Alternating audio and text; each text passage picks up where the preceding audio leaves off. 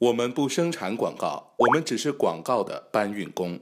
爱奇艺会员没广告真骄傲。这次报名，我发现全中国有病的都来了。我们把有病的和没病的都排除在外了，剩下一些刚好不知道自己有病的人。你的活儿好的跟苍井空一样，你长得美的跟范冰冰一样都没用。相守一生，让所有思想的那些话都放到你们以为你们学会了体贴的知识，都世界末日，你还管你到哪了？那些被我借钱的人，情人可能知道你掌心里的事，或者可是父母是知道你屁股上的事的人啊。不一样的烟火，对不对？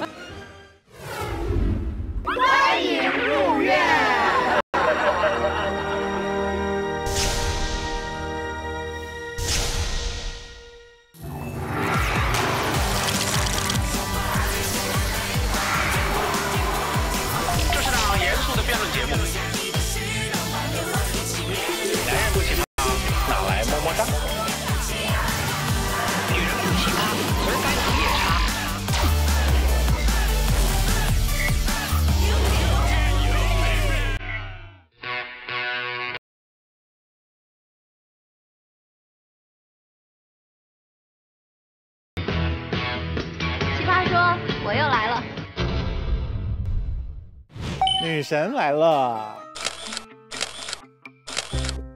你为什么穿一个泳装就来了？你不要装无辜，是你交代的啊。张师傅，你你你强吻黄健翔是吗？你问他我亲到他没？全都是借位。你怎么不跟马东借？没有人借位的时候，真的女演员都是这样的，就这样的。对，我是亲到我的手，然后这样的。马东期望的不是这个。咱们换个话题吧，赶紧录吧录吧，别闹了，再闹就出事儿了，真的是。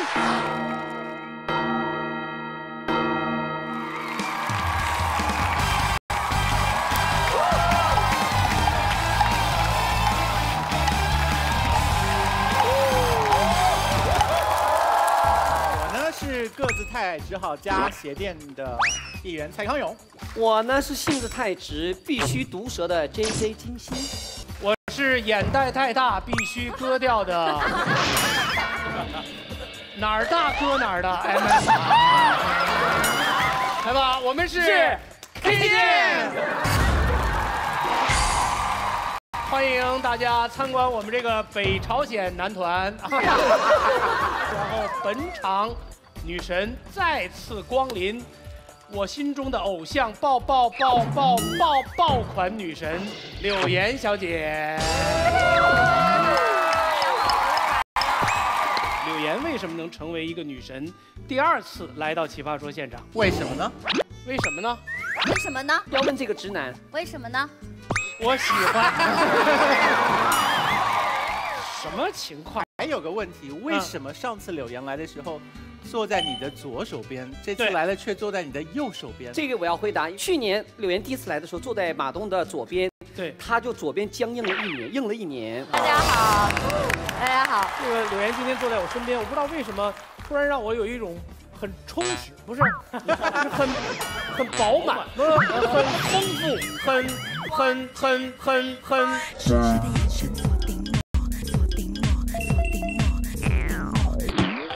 啊，僵左边僵硬啊，左边僵硬的瞬间的那种感觉。就今年给他放在右边，让他右边也硬起来，对，这样就可以用了。大家一会儿看啊，我注意我招手只用这只手了，这只手这只手已经处在半身不遂状态。这个柳岩上次来奇葩说感觉怎么样？我感觉轻敌了，是不是有点热？上次来，因为上次来你穿衣服一直武装到这儿，就是啊，每一寸肌肤都不肯让我们看到。这次来不知道为什么穿了泳装就出现了啊，这以前我觉得《奇葩说》是小清新类型的节目呢，哦但是现在我就发现它是一个非常火爆、极具人气的节目，所以今天也穿的比较凉快就来了。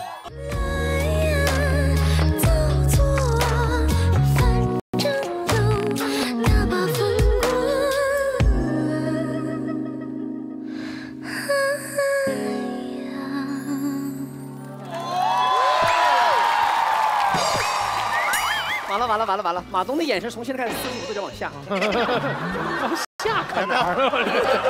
要不要把你椅子搬到他后面去？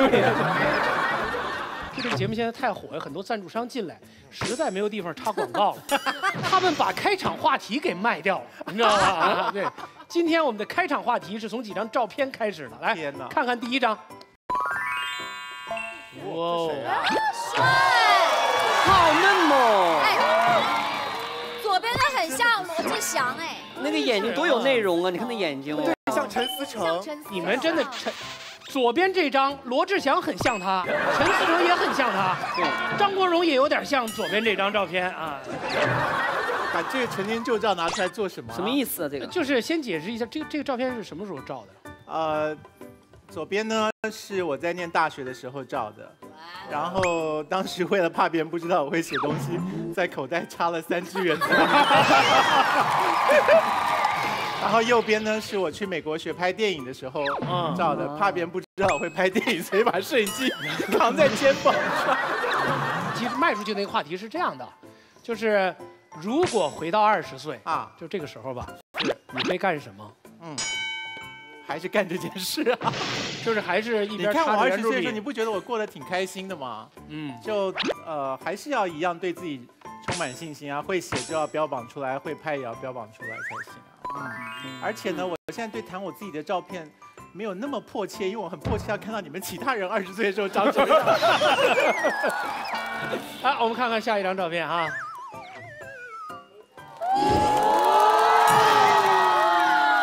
这太值得娃了。这个是我儿子舅。这个时候真是二十岁，这是我在广东舞蹈学学现在就要出去美国留学之前拍的，啊，嗯，挺酷的吧？很酷。对呀。二十岁，哦刚才问那个问题，如果回到二十岁的话，这个时候我应该想法跟女孩子谈个恋爱。那时候没谈吗？我从来没跟女孩谈过恋爱。网上有帮傻波一们说说啊，金金老师什么跟女孩子谈恋爱怎么怎么，我从来没有过的。因为我这时候我特别清楚，我要谈恋爱，我只能跟男人谈恋爱，但那时候谈恋爱不方便。如果再回到这时候，我估计我该走哪条路还走哪条路，嗯，但我不后悔，因为我觉得这条路真是太精彩了。真是老天老天爷帮你设计特别好，我都没想到我会走成这个样子，就是就是人算不如天算。我们从网上搜了一张柳岩小姐二十岁时候的照片。先把你的拿出来呀、你的呢？我我我的那个屏幕放不下。柳岩还有这种时候十六七岁的时候，那时候在广东读书那是上学是吧？上学，这说起来已经三十年前的事了。是不是每次到食堂吃饭的时候，给你盛菜盛特别多吧？完了盛菜的时候就盯着你的胸给你盛去。那个时候明显吗？现在明显吗？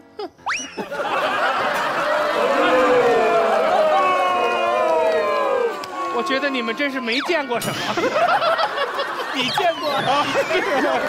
好，那么就到这儿吧，来吧，咱们这个环节就这个环节就就可以到这儿，下一张。还有一个走，哎，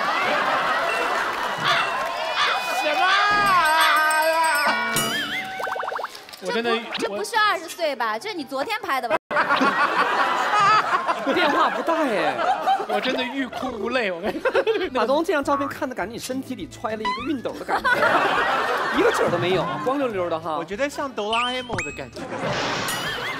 我那个时候比现在重三十斤，啊，那个时候比我巅峰的时候轻二十斤。啊？所以你巅峰的时候比现在重五十斤的意思。对，你干嘛不这这样讲呢？你还要我加？我考一考算术。所以其实如果我要回到二十岁的话，我会饿着自己。我真的我我我那时候我那时候对吃简直是痴迷，在那之后我才发现世界上其实还有更好的东西可以去痴迷，不必不必啊。不必集中在吃这件事。我觉得你应该指这个，对 对，这个出钱的。不是，我就说我要是二十岁，我就每天每天一盒古力多燕麦牛奶，扛饿扛到今天。马薇二十岁的时候呢？呃，我希望我到二十岁的时候呢，去去去去！上一届冠军怎么那么讨人对厌呀啊？，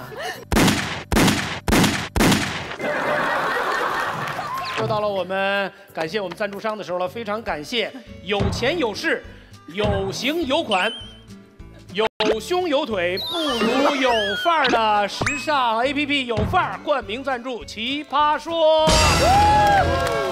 当然，我们要再次感谢啊，这个国际抗饿大品牌古力多燕麦牛奶赞助我们。今天开始，其实已经度过了淘汰赛了，所以场上十六位选手啊分批上来进行 PK，所以大家好自为之。来，我们看一看今天第一个辩题是什么？没钱要不要生孩子？在中国养个孩子到底要花多少银子？据不科学统计，在北京生个娃，普普通通的养到十八岁，成本二百七十六万，这还不包括进口奶粉、高级尿不湿、亲子班、择校费、零食旅行、吃药看病。一对月薪不到两万的小夫妻，不吃不喝存上十五年才够养个孩子。如果说七零后生的孩子是计划生育限量版，那八零后的孩子就成了计划经济奢侈品。厚厚的账单让现在的年轻人谈孩色变，青春还没开始就已经被房贷、车贷和熊孩子给透支没了。不少人不约而同的选择没钱不生，也有人认为土豪的童年也未必是快乐的童年。进口奶粉未必能吃出个本土天才，压力不是借口。五零、六零、七零后哪一代不是从压力中走过来的？没钱就不能生，不过是一群逃避责任的人打着哭穷的旗号，让不生孩子瞬间高尚起来。与其说你压力大，还不如说你根本就是个怂包。那么没钱到底要不要生孩子呢？没钱要不要生孩子？必须生啊！那还用说吗？你生孩子的时候有钱吗？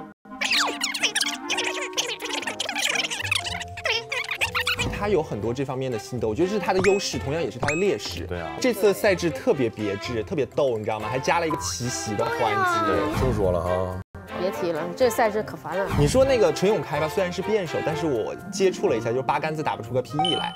谁说我们？好几个人都说你们。我们真的闷。欢迎收看由有钱有势又有范儿的有范儿 APP 冠名播出的《奇葩说》。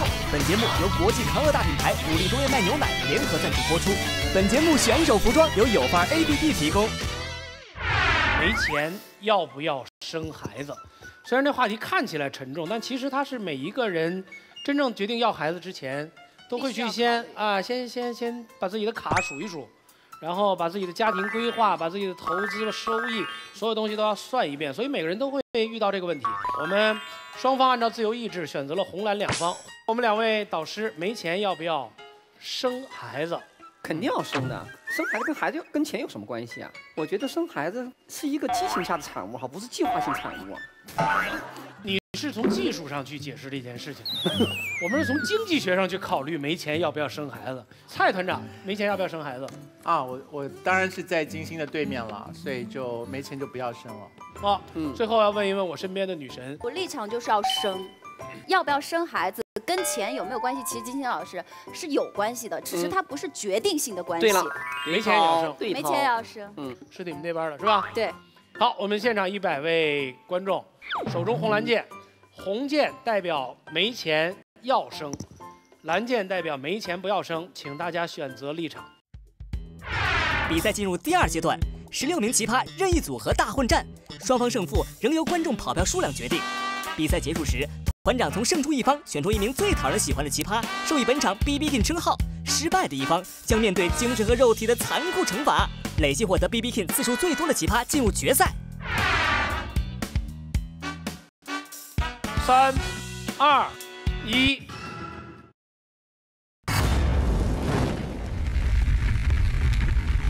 那我们是从正方少数支持派开始，大兵开始。哎呀，没钱要不要生孩子？我觉得问这话的人就应该把你重新塞回到你妈的肚子里。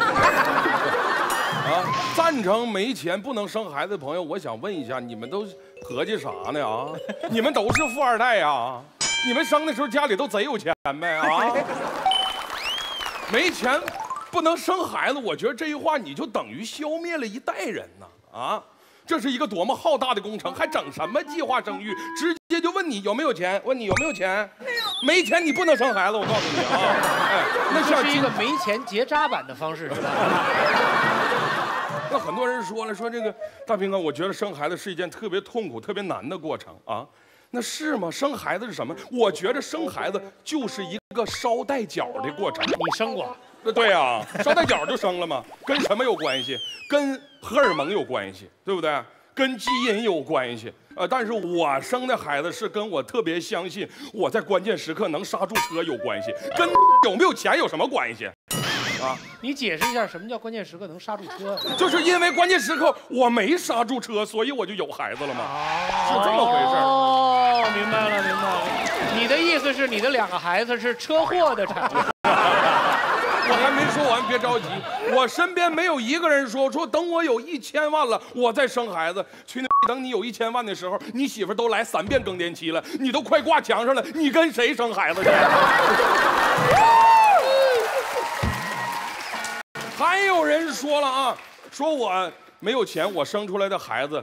呃，跟我遭罪，跟我受苦，我用不起澳洲奶粉，我使不起日本的尿不湿，我用不着美国的吸奶器，我不能让他上英法双语幼儿园。朋友，我想问一下，你是养孩子呢，还是养八国联军呢？大伙儿都知道啊，人奶的营养是要比是要比奶粉高出一万倍的，朋友们，你喝过？我喝过呀，我尝过，亲自尝过。那么，现在朋友，你的最重要的任务不是努力的攒钱去买澳洲奶粉，你是努力减肥，别减大发了，把你那奶给憋回去了。所以我认为没钱要生孩子，对自己、对家庭、对孩子。都是好事儿，老爷们儿可以努力出去挣钱，老娘们儿别出去败家去了，好好的两个人一起努力，形成一股劲儿。孩子也认为自己我要努力，以后我才能有出息。那么一个有爱、有温暖的家庭，是要比一个光有钱而天天冷战的家庭好出一万倍。所以朋友们，炎炎夏日无心睡眠，今天晚上你们就回去跟自己的媳妇儿来一发，别控制，奔着中标去吧。谢谢。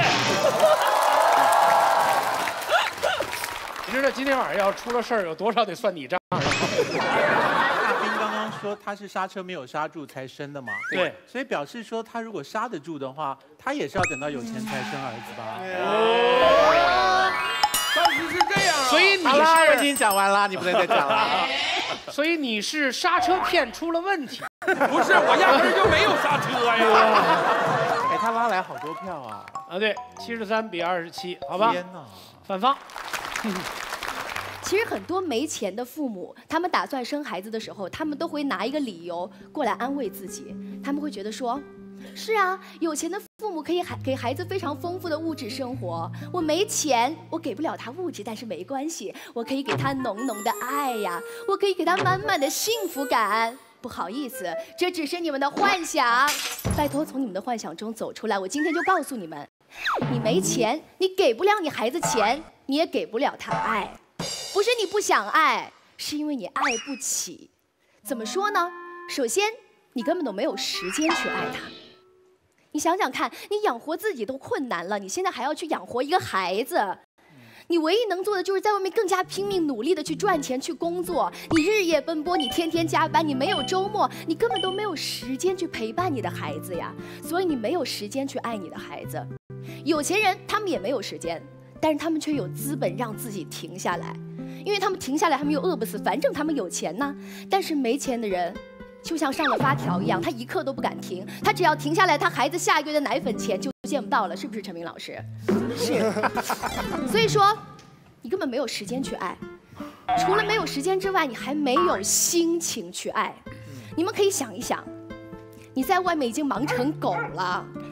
你大汗淋漓，在外面四处奔波，很晚的时候回家，你只想好好的在家睡一觉休息一下的时候，你发现你孩子把家里弄得一塌糊涂的时候，你真的是气不打一处来，你根本没有那个心情去宽容他，去给他爱的教育，你只会觉得说，老娘在外面那么辛苦的赚钱养活你，你就拿这个来迎接我吗？你能不能早点懂事？你能不能不要让爸爸妈妈操心？你知不知道穷人的孩子早当家呀？所以你根本没有心情去爱他，所以这样家里的气氛就很诡异，你知道吗？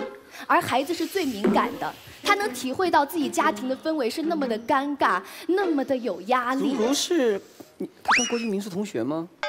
他跟为什么他跟郭敬明是同学？你是生活在《小时代》里头吗？哪跟哪儿啊这？这可能刚好说明了郭敬明受到这么多人欢迎的原因，就是他们分享一个时代的价值啊。不是他他他那种好像是说有钱就给爱，没钱就不能干。那咱们中国这些农民大波大白们都都都怎么只是给给爱的方式、给爱的时间和精力比较的累嘛。所以小朋友可能觉得收到的爱的品质不是他期待的那个品质，就哦，他们生活在电影画面里头，所以说我说生活在《小时代》里面嘛。如如选择了一个特别特别特别特别特别艰难的一个开始，因为他直接就就把爱这个事儿，对，反正迟早得对付这件事情，就对付吧。啊好的没关系，勇敢一点。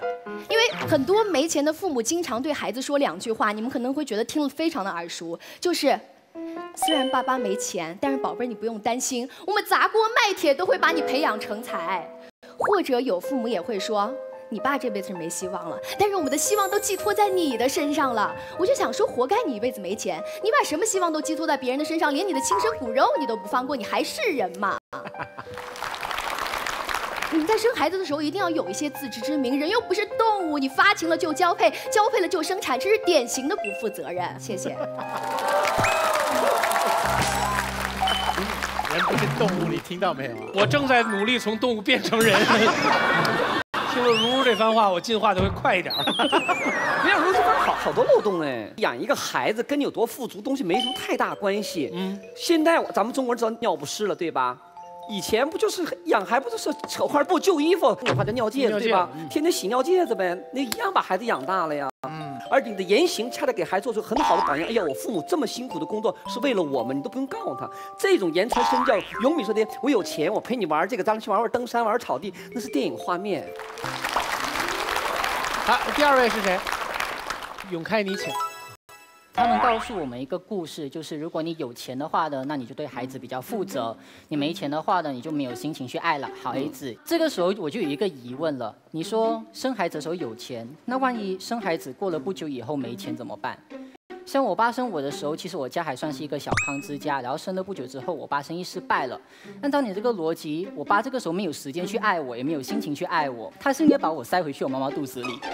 而且我家有三兄弟，塞三个。你又是从技术角度去考虑这个问题的，你知道吗？因为照算命的说法，你就是克父母啊。好啦好啦，就按照这个观点走下去，其实是很可怕，特别是金融风暴来临的时候，每个有钱人都赶着回家干嘛？塞孩子。结果人生就是怎么样，生了又塞，生了又塞，你烦不烦啊？你爸不累，你妈都累吧？那个叫召回，你知道吧？所有轮胎质量不过关都召回啊！因为我想说的东西很简单，人生本来就是有时有钱，有时没钱，这种东西不由得你控制。如果你要算到自己可以确保自己永一辈子有钱，你还生孩子的话，坦白说，大家都过去做结扎手术手术吧，比较快。所以第二点。其实坦白说，我很欣赏他想要尽可能给出多一点时间去爱孩子，你这种心情我可以理解。可是我很好奇的是，为什么有钱人家的孩子就必然比较快乐，那没钱人家的孩子就必然比较不快乐？像我自己，我家有钱的时候，我有玩 PS 三的快乐；那没有钱的时候，我去隔壁小孩的家可以玩 PS Four 啊。那就是隔壁的爸爸妈妈有钱，才给他小孩买了 PS。没关系，隔壁家的小孩们在上小提琴课，所以他们的 PS 所以都空着给我玩。所以你你爸爸破产是被隔壁害的，是吗？有可能。对。然后而而且就是有钱的时候，可能家里请家教，那家教也挺帅的，我也很快乐。可如果没钱的话，不用上补习班，讲什么更快乐呀？家教什么意思啊？你什么意思？家教挺……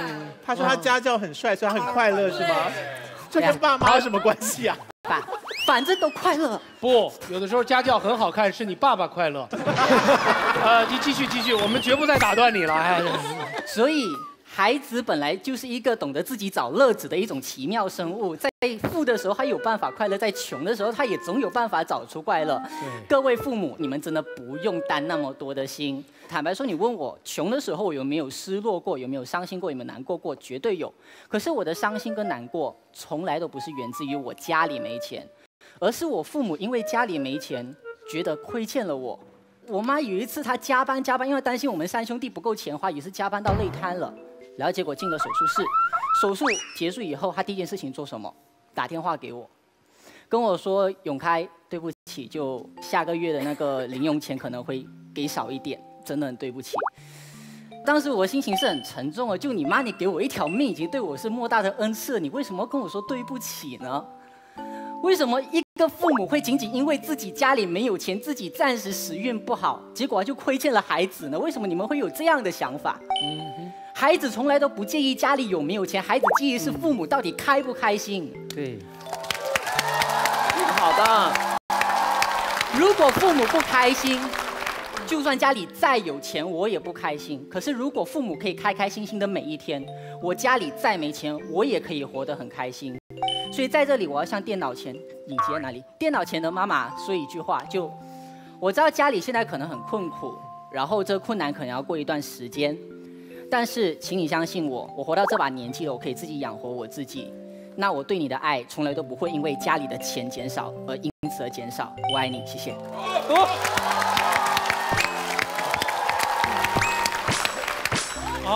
齐溪。新赛制，奇袭，奇袭为一 v 一单挑环节。当一方奇葩对另一方发言忍无可忍时，可选择发动奇袭。每场比赛每队各有一次机会发动奇袭。我在二十多岁的时候，有一段时间我去了武汉市的一家孤儿院，我很想去收养一个孤儿。然后孤儿院的老板衡量了我家庭的经济情况之后，说不好意思，你你不能来收养我我们这里的孩子，因为你的财务状况没有达到国家法定的最低标准。我想请问的一个问题是，为什么孤儿院宁愿那个孩子没有爹，也不愿意让没钱的我去当爹？为什么？我不懂他们的考量是什么。可是我想今天的辩题是没钱要不要生孩子，而不是没钱要不要收养孩子。全世界范围内所有的孤儿院在孩子收养和领养的过程当中都有鲜明的财务状况调查，而且在各个国家和各地各个地区都有法律的规定。你有没有思考过，为什么各国都有这样一个规定？就是如果你钱不够的话，甚至领养一个都不允许。为什么？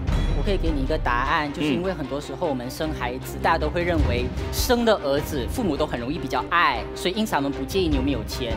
可是收养孤儿的话，因为你本身不是你亲生儿子嘛，所以他们才要衡量你经济状况。给个基本的说的很好，这个点好锐啊！说的很好，他告诉了我们在养一个孩子当中财务状况的重要性，这点你听不出来吗？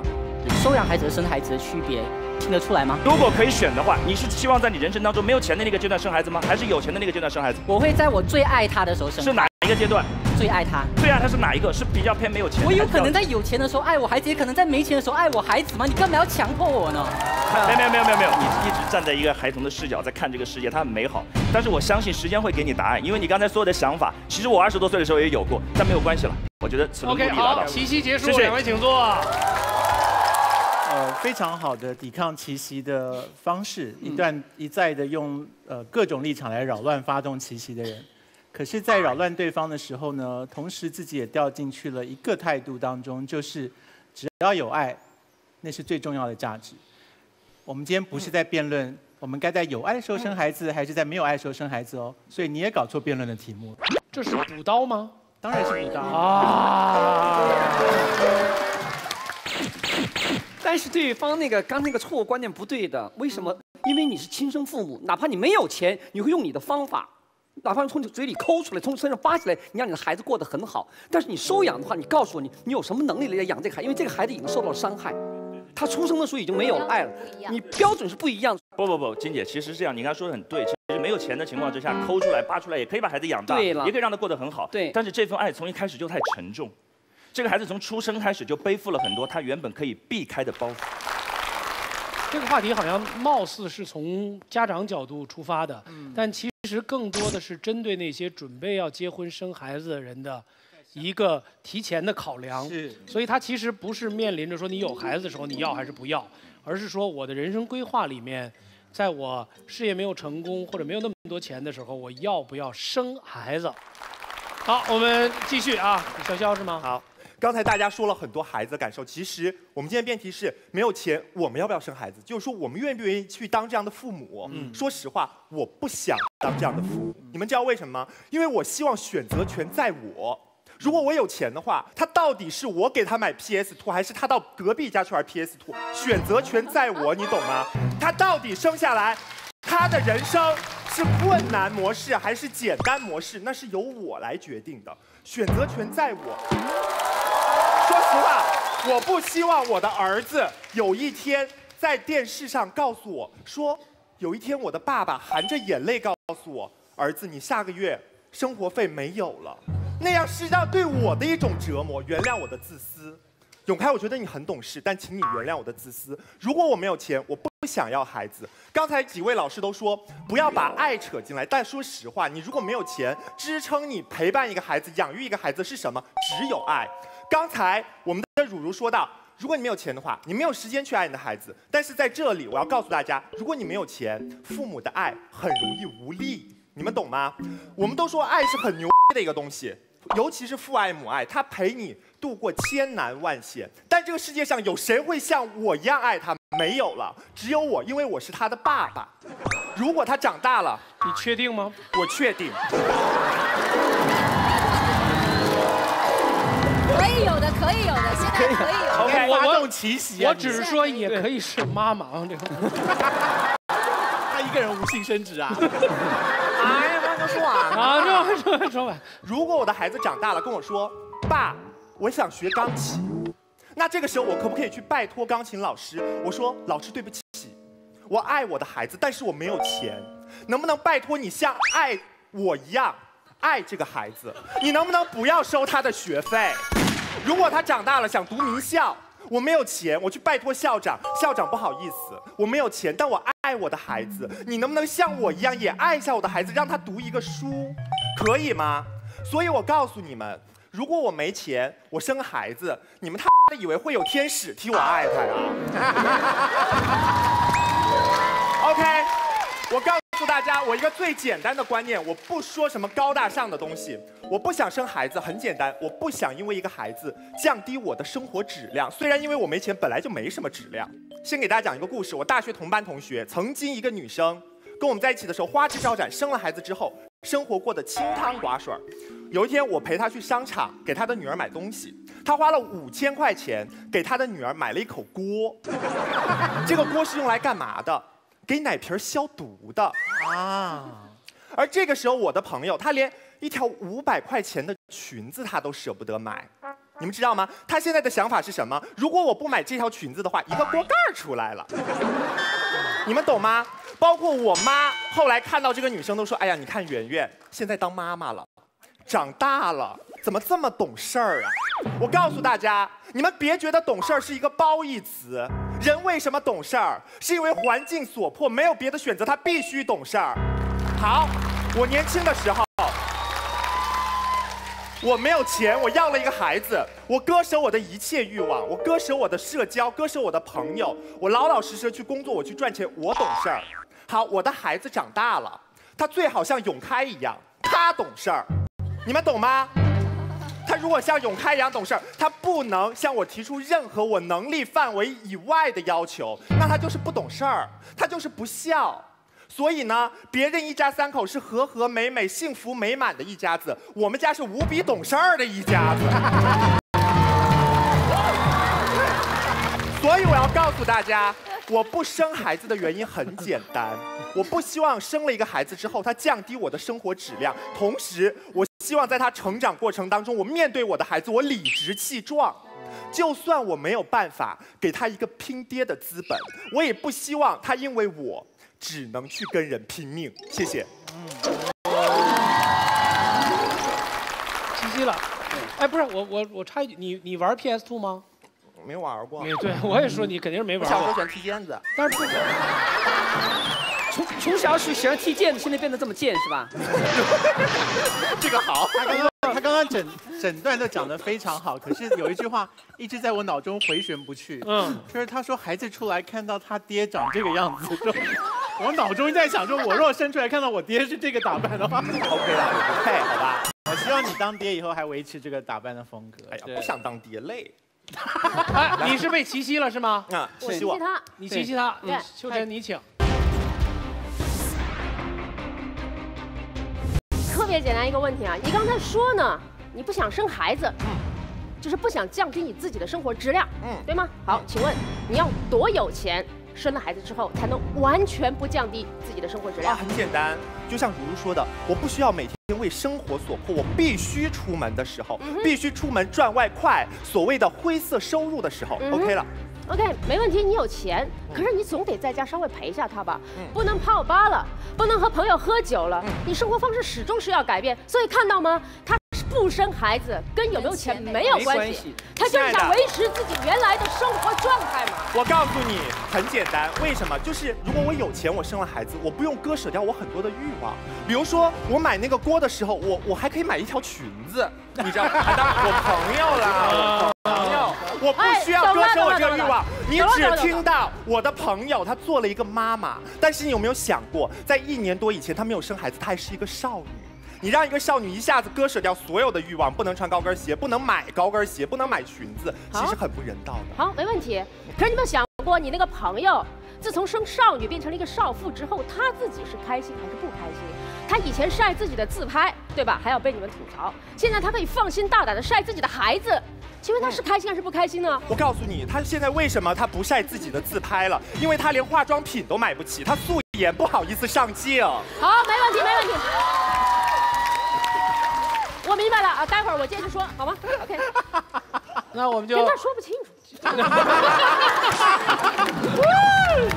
是不是有一种秀才遇到兵的感觉？没有啊，哇，潇潇，你得到了最高的恭维，就是跟你说不清楚。不然你以为我怎么走到今天的？我很快的问潇潇一个问题啊，比如说你是想要孩子前提下，只是因为现在没钱，对吧？嗯。那比如说十年之后你还是没钱呢？那个柳岩姐是这样啊，因为就是说，如果我现在这个阶段没有钱的话，很简单，我还年轻。你觉得你未来一定会有钱，对不对？其实我现在挺有挺有钱的，告诉你。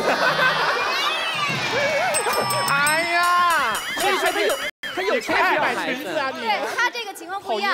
我的意思是说，很多人觉得我现在没钱，但是大家年轻嘛，我坚信我十年之后、我五年之后一定有钱。可是说不定你五年、十年之后不但没钱，还比现在更穷。那你一辈子都不要孩子了，你那时候想要孩子都老了，都生不出了。我们今天这辩论题目讲得很像什么题目？就是如果我们要考高考了，我们是不是等到我们书都念完了，我们再去考？理想的状态，正常的学生都会说：“我希望我把书都准备好了，我功课都温习好了，我才去考高考。”但可是高考来了以后，我还没念完，我也得去考。所以你你刚才说，万一日后也没钱，万一过了二十年还是没钱，那怎么办？那就是念书没念好，功课没有准备好。可是高考的日子还是来了，他还是会去考的。所以我们今天讨论是理想的状态是他生不。出了，真的，你等到十年、二十年，长死了。真的。其实这 请教一下，长死了我听不懂。就堵住了，堵住了呀！真的好多人生不出是堵住长死了呀！该该出奶的出奶。你们，我发现，我发现你们两个人真的特别爱谈技术问题。那这样我就问一下你你先说哪儿堵死了，我跟你讲，真的，现在很多女生啊哪儿堵住了，哪儿长死了，这输？卵管堵住了。对呀。哦，我我想多了，我想多了。我觉得自从有了奇袭这个设计之后，大家都疯了，就疯掉了啊！就这样，就这样。好，那我就承接着刚才往下说，潇潇呢有没有钱跟他选择毫无关系，他无非就是想维持现在自己这样的生活状态。不信你问他，好，我现在就给你一千万，你生不生？呃，要生。啊，他犹豫了，还不要了，他犹豫了吧？生不生跟钱没有关系。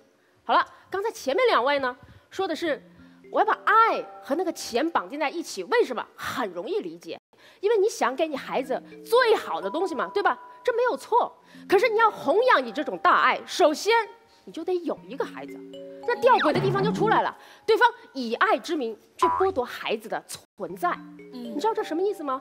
就是说我不能给你最好的，我就干脆连条命都不要给你。不对不对，不能替他做决定。那我就想顺着问了，如果是这样的话，你们现在过的日子也不是你想象中最好的吧？你为什么不去死一死呢？哦，所以，真的，对，真的有没有钱啊？好多时候只是一个借口来的。潇潇说的一句话是对的，他不是怕亏待孩子，他是怕亏待了他自己。这是一种十分自私的想法，跟有没有钱没有关系，是他还没有长大。可是有一点呢，我觉得是需要承认的，就是不管你有没有钱，有多少钱，一旦你的孩子出生了，你立刻会觉得那些钱不够花。也就是一旦有孩子，你立刻就会觉得没有钱。可是为什么？为什么？因为你爱你的孩子，爱就是这样一种不计一切的投入，无论你给了他多好的东西，你都会觉得不够。你给了他澳洲的奶粉，你就会想他有没有更好的东西可以给他。没关系，有这种想法，有这种欲念非常好，记在你自己的心里，因为只有如此，孩子才能成为你拼命去挣钱的最大的动力呀。所以生孩子的时候没有钱不要紧，你们想一想。王思聪，你们的老公王思聪，他一九八八年出生的，那个时候他家也没有钱。那时候他爸是一个什么区政府的办公室的副主任，那个时候一个公务员能有多少钱的工资？肯定没有钱。可是，一九八八年就在王思聪你们老公出生的那一年，他爸还干了一件事儿，就是他砸了自己的铁饭碗下海了。所以后来的事情你们都知道了，他爸呢就成为了中国首富，为了孩子反而更有钱了。对。然后王思聪呢，啊，就成了你们的老公，对吧？所以没钱不要紧，没钱可以去挣的。如果说爱情让一个男孩成为一个男生，更有赚钱的动力。是的，更有动力。那孩子就可以让一个男生变成一个男人。男生，对吧？为了耍酷，为了耍酷去抽烟，可是男人可以为了省钱去戒烟。嗯。男生为了义气去打架，可是男人为了家人可以隐忍。男生一时高兴可以千金散尽，可是男人啊，为了自己家的千金是可以斤斤计较，到朋友都嫌弃你，你也在所不惜的。女生其实，漂亮，对的。所以说呢，这个有没有孩子跟有没有钱，其实真的没有多少的关系，你可以去挣的，而且与那些一开始就有钱的家庭相比较。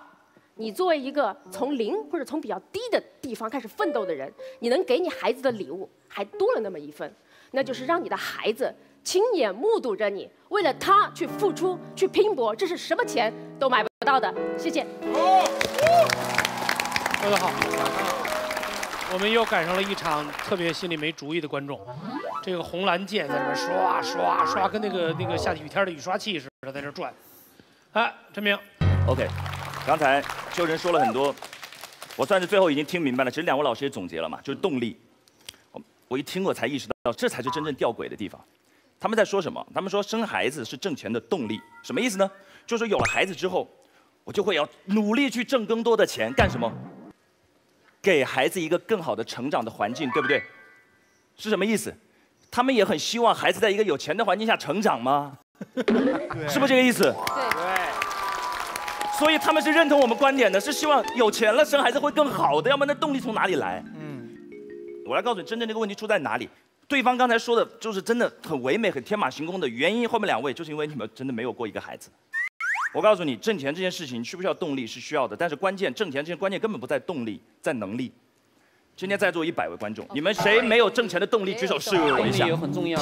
挣钱这件事情，动力其实人人都有，但你知道能力这个东西关键在哪里吗？挣钱其实最关键的是时间和精力，他需要去锤炼自己挣钱的能力，然后去挣钱。我的观点其实非常简单，其实没有钱应该努力挣钱，而生孩子这件事情，跟挣钱，totally 的是南辕北辙。我的女儿她是二零一四年六月七号出生的，我非常真实的给大家呈现一个刚刚生完孩子的父母的生活。孩子在刚开始生下来的半年到一年当中是要吃母乳的，两到三个小时孩子会饿一次。每天晚上，一个刚刚生了孩子的妈妈在半年到一年的时间里的喂奶频率是这样：九点半左右以后就要睡觉了，九点半要先喂一次，两个小时，十一点半喂一次，一点半喂一次，三点半喂一次，五点半喂一次，七点半喂一次上班。晚上孩子会饿了，他就会动，他就会哭，就会嚷嚷。每天晚上的睡眠就是动一次。喂一次，动一次，喂一次，动一次，喂一次，这就是生活，你知道吗？但这就是一个普通的生活，而且你知道，喂喂一次奶差不多半个小时左右，喂完了还要花半个小时把他哄睡着，所以呢，每天晚上基本上就是两小时醒一次，醒一次一小时。想象一下，这个妈妈这头一年的是怎么睡觉的？但如果在座的各位男士觉得这就是妈妈的工作，辛苦的是妈妈，你就错错大了。不可能有一个妈妈每天晚上醒这么多次喂奶的时候，看到爸爸在旁边鼾声如雷，心里还会很平静的。所以所有年轻的妈妈一定会啪一脚把爸爸蹬起来，说那个爸爸拿尿布、烧开水、倒奶瓶、开灯，然后给孩子换一下衣服，然后就你会看到一个。跟有钱没钱没关系，有钱你得喂奶呀。它会影响挣钱。从我本人来讲，前半年的时间我基本上没有睡过一段在五个小时以上的觉，没有。我老婆就更不用讲了。所以朋友们，如果你生活当中白天看到一对年轻人双目无神，然后行尸走肉的到处晃，他们可能刚刚生完孩子。我想说的关键在哪里？你发现没有？挣钱是需要时间的，挣钱是需要精力的，挣钱是需要你投入的。生完一个孩子之后，在接下来一到两年的时间当中，这一对年轻妈妈的挣钱能力会得到非常大的削弱。我根本没有提花钱和开支要增加多少。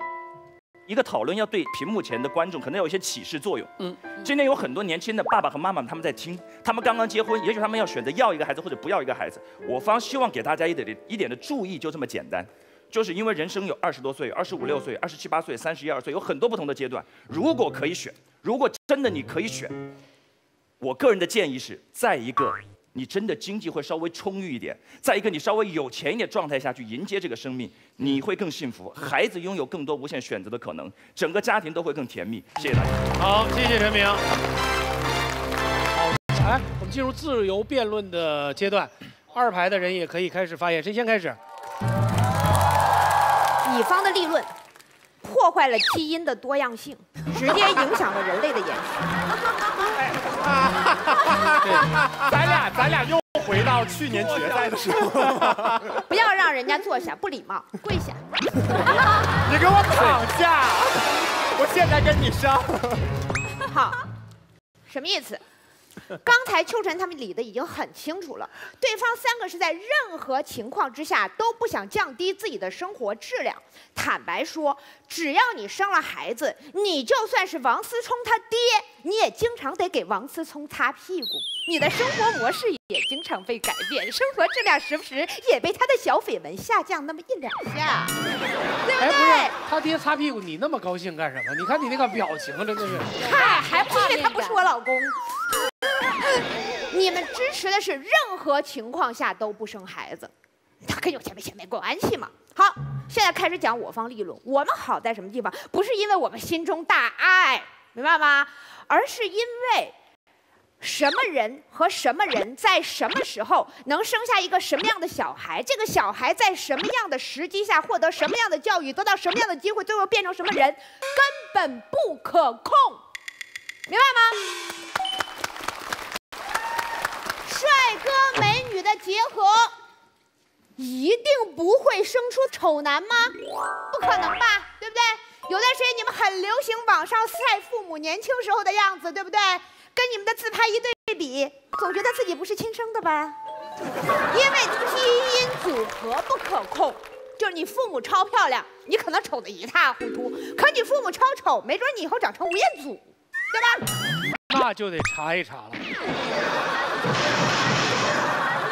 好，你父母都是天才，这种优势基因组合在一起，不好意思，没准他们最平庸的部分重合了，对不对？你是个傻子，很正常。有没有大学双高知生下的孩子连三本都考不上的？高晓松。他就是典型的基因组合失败，知道吗？从形象到智商。你不能人家不参加第二季，你就这么记恨？谁让他不来的？聪明、财富、智慧都不可遗传，对不对？你给你孩子最好的一切，他未必享受得了啊。可是按你们的说法，没有钱就不能生孩子，那蠢货也不应该生孩子，因为你们养不好，对不对？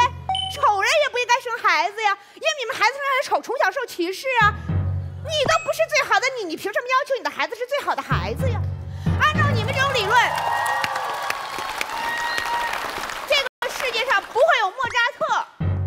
因为他们家超级穷，哥们儿为什么四岁就会弹钢琴，挣钱养家？如果按照你们的观点，这个世界上不会有梵高，家里穷爆了，而且一辈子都很穷。你你已经讲了两个早死的天才了。所以我现在讲的不是这个人幸不幸福，而是这个世界上会出现多少种不同的人。人类一旦开始搞优生学，人类就会变成什么？配种社会，明白吗？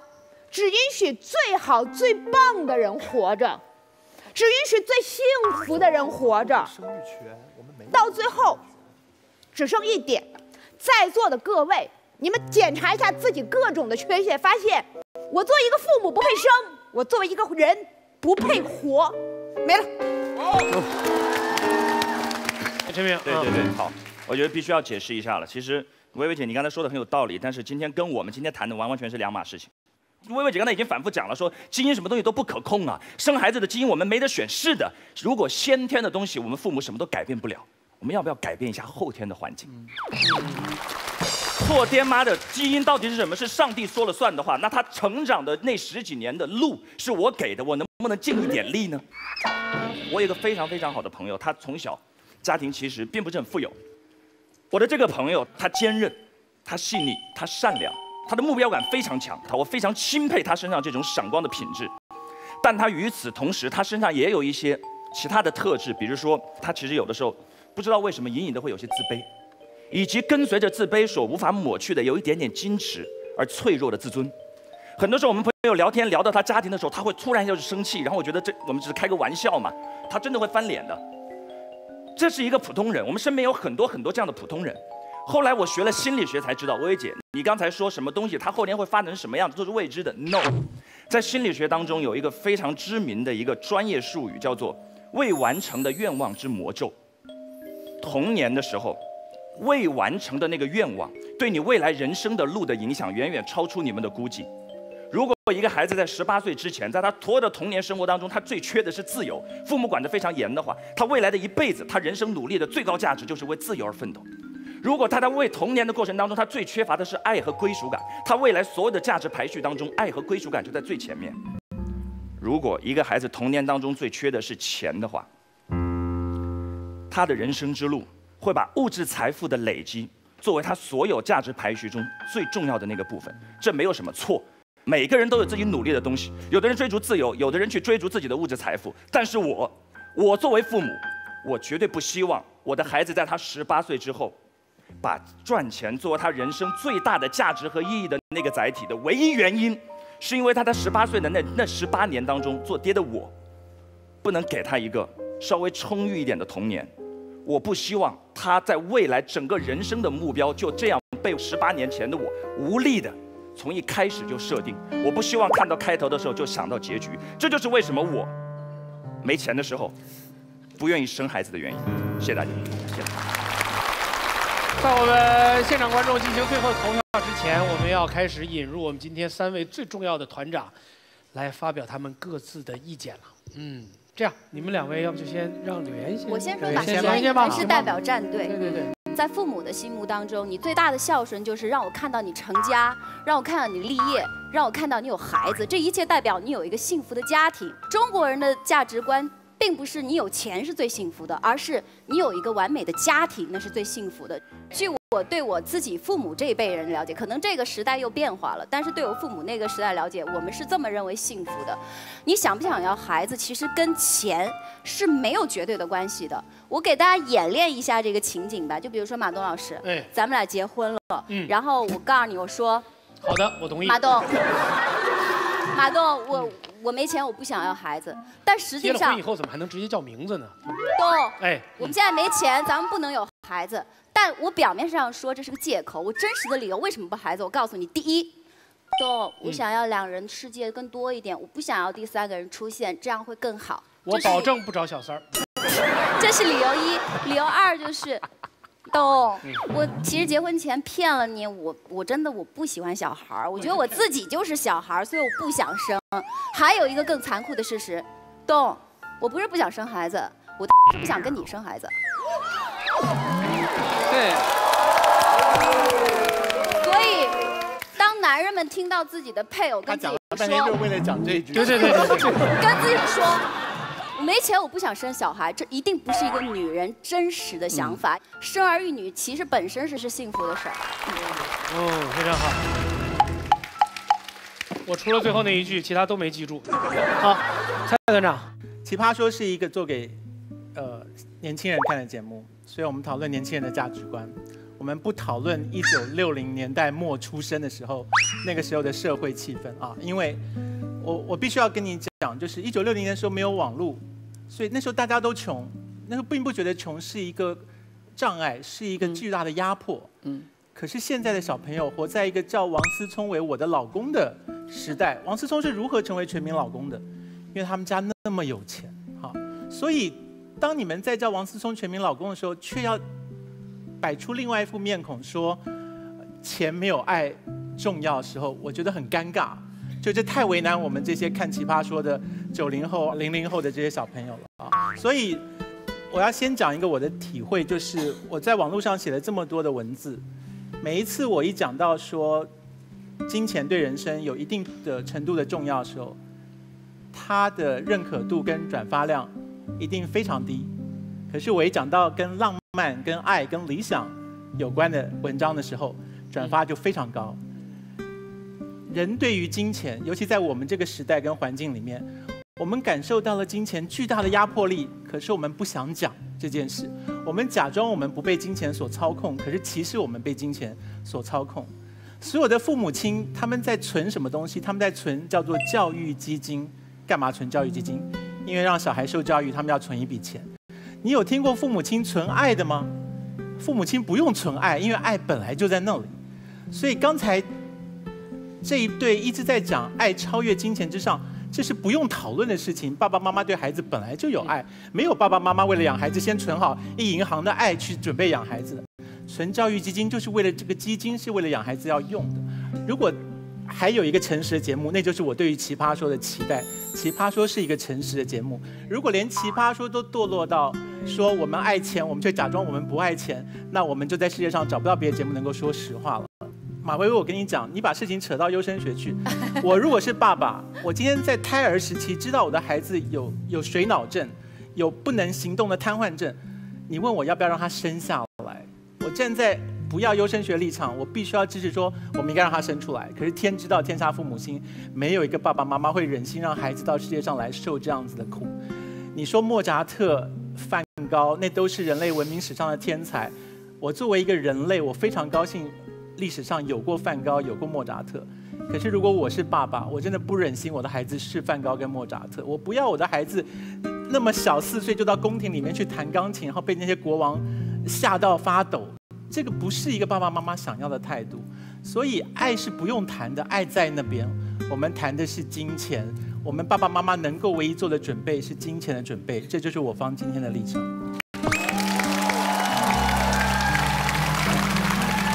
好了，来，我们留给金姐。嗯，我觉得其实我们谈辩论了半天，关键是你这个标准在什么地方。拿我个人来讲，当我收养我孩子的时候，我没有钱，我也没准备。当这个生命敲门的时候，我不能拒绝生命，我就开始了。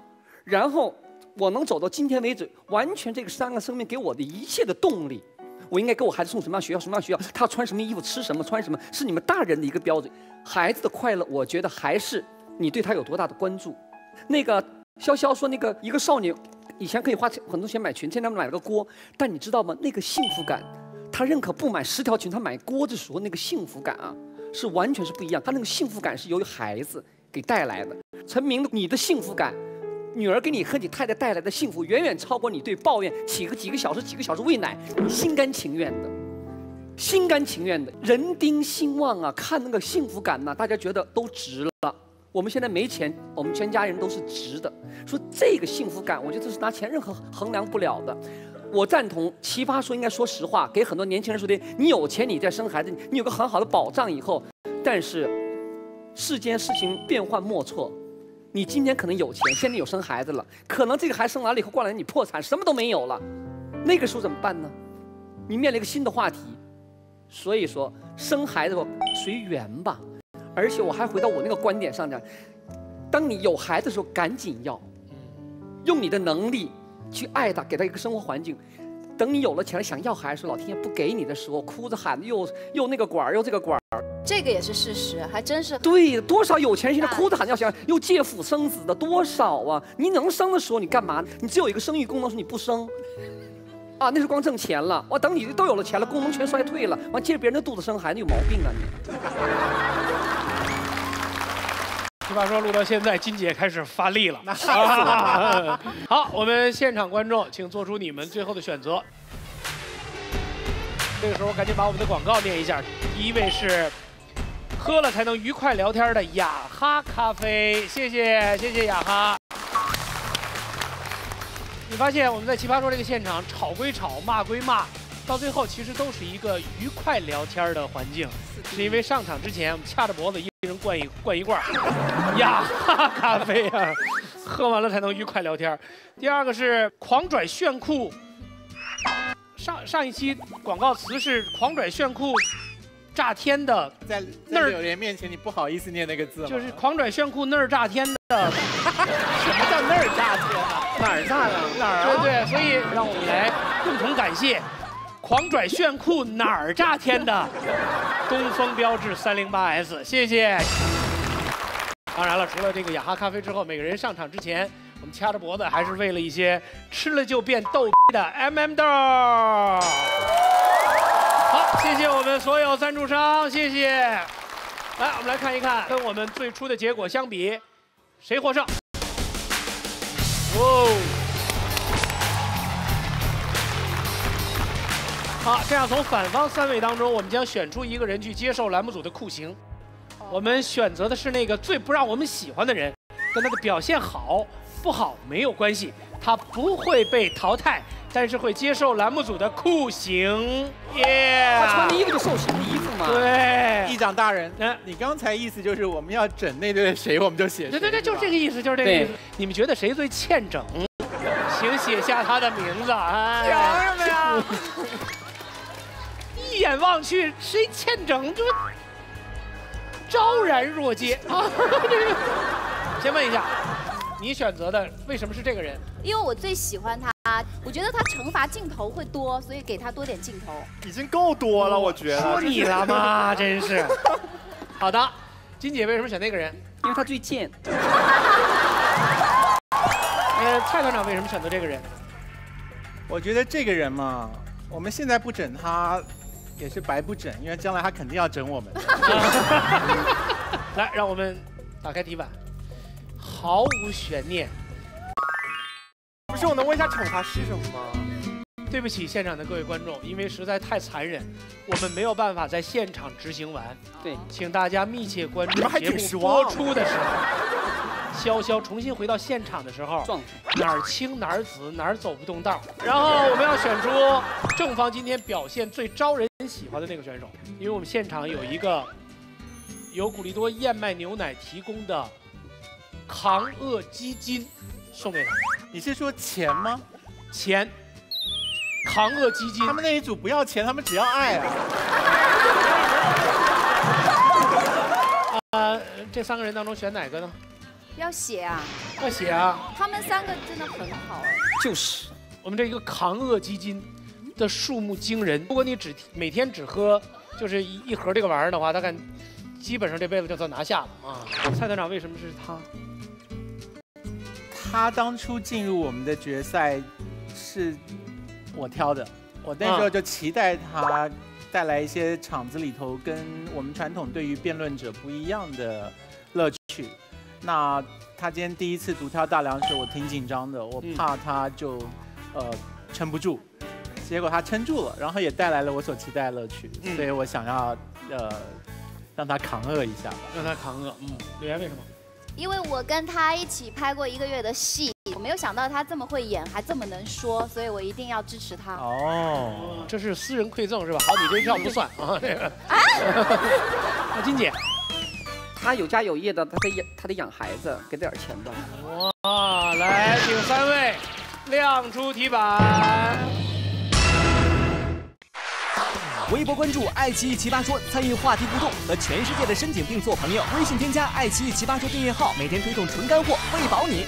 强烈建议到百度贴吧奇葩说官方吧写下长篇大论，洋洋洒洒任你喷。解放奇葩就在慢都慢不下来的爱奇艺视频。请三位亮出题板。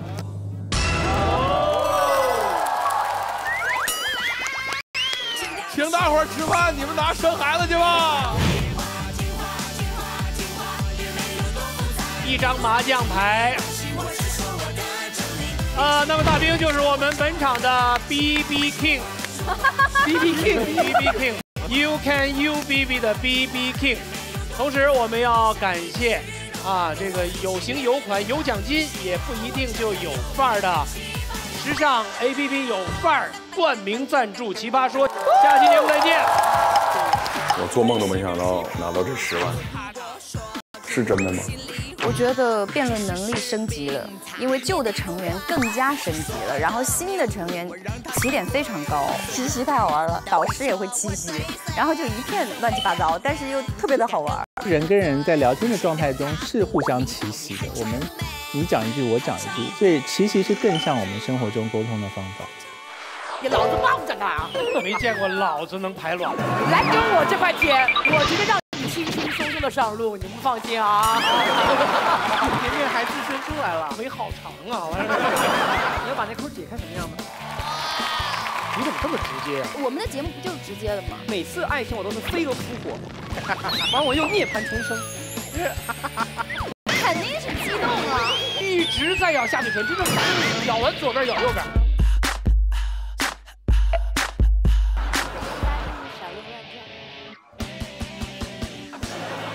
惩罚我干嘛呀？惩罚我拍照啊！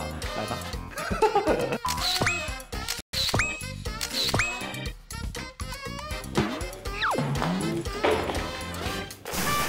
本节目由有钱有势又有范儿的有范儿 APP 独家冠名播出。